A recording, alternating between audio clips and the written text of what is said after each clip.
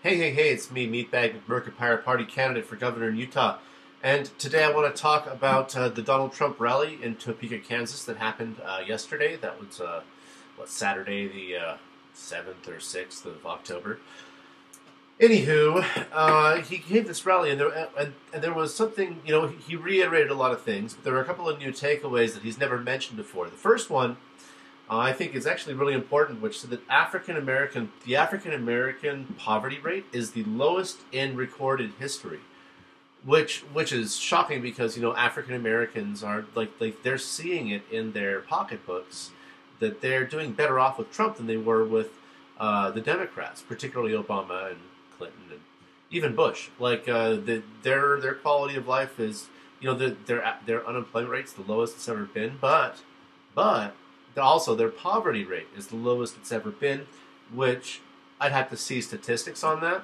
But if it's true, it could really spell a, a death knell for the Republican or for the Democratic Party. Um, because this is like the most consistently reliable uh, Democratic voting bloc is the the African American vote. They vote typically on the order of 80% plus Democrat. Now, if they're seeing their quality of life improve under Republicans, the way that uh, uh, they haven't seen under under Democrats. In fact, they've typically seen you know that the with the Democrats they're just given free stuff and don't have to actually do things on their own, and they have no incentive to to do those things. You know, like like yeah, they're going to keep going for the free money.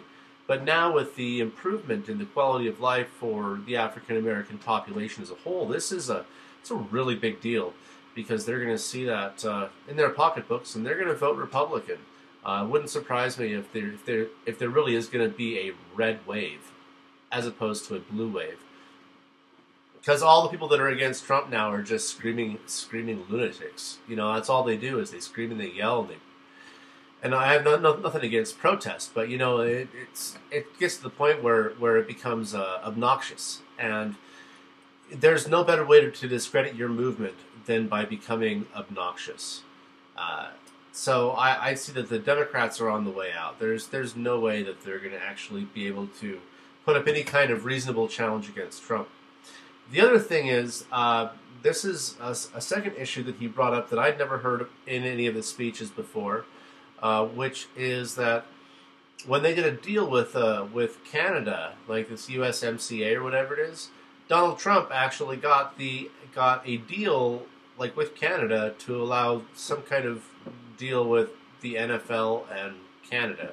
My guess is that the NFL's been trying to do a Canadian league, kind of like, uh, kind of like you know the the NBA has done and the NHL. I mean, they've they've all got deals in both countries and teams in both countries. My surprise, I wouldn't be surprised if there are going to be a few more NFL teams that are going to be based out of Canada, which I think would be really cool.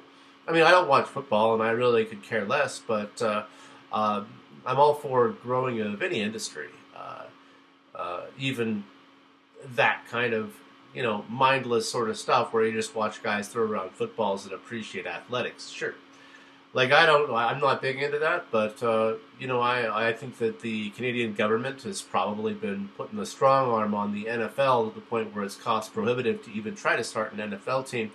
Now, here's the thing: is that uh, Trump said that the uh, the commissioner of the NFL gave him a call, and and Trump was saying some of the effect of I, I don't know, know the quote exactly, but he's saying I I get, I get this call from the from the commissioner of the NFL, and I'm thinking he's going to rail on me about about the whole standing for the flag thing, and then he calls and he's like, "Thank you."